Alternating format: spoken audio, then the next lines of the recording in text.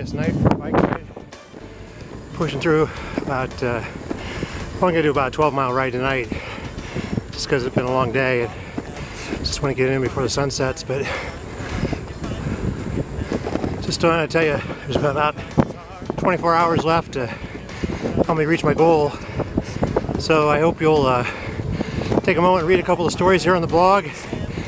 And uh, if you feel inclined, click that click here to donate blue button and make your gift.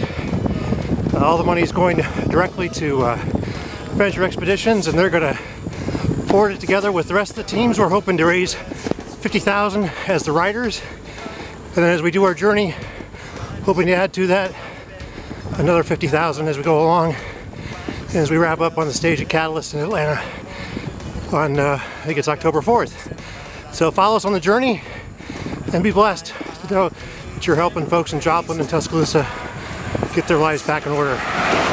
Grateful for your consideration and please be praying for us for strength, for protection, for safety.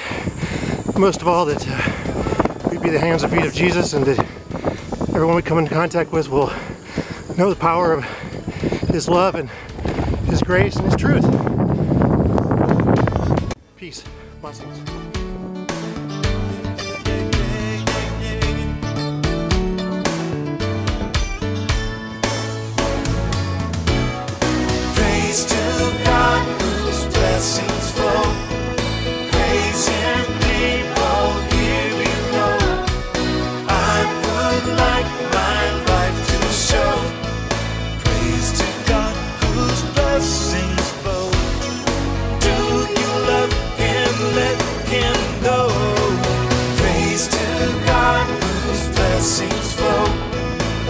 He's in.